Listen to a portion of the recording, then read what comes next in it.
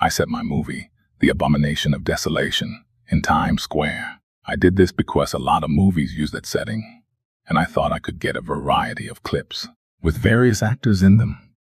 But some people say that there are no coincidences, so that got me thinking about synchronicity. The word synchronicity is in part derived from the Greek word for time. Time is one of the traps or limits of this dimension.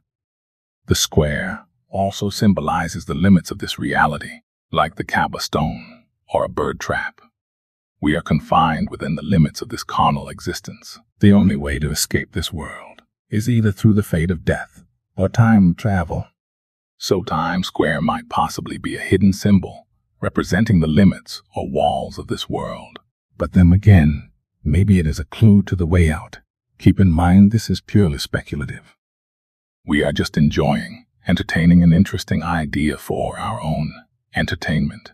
I have theorized in the past that time travel might involve certain frequencies. If the plane of our existence is physical, then to crack it open might involve the right frequencies. Think of a physical wine glass. The right frequency will shatter it, so it's the same concept. To escape time, or time travel, one would need to break out of this dimension. Anyway, perhaps the double meaning behind Times Square would be time to the second power.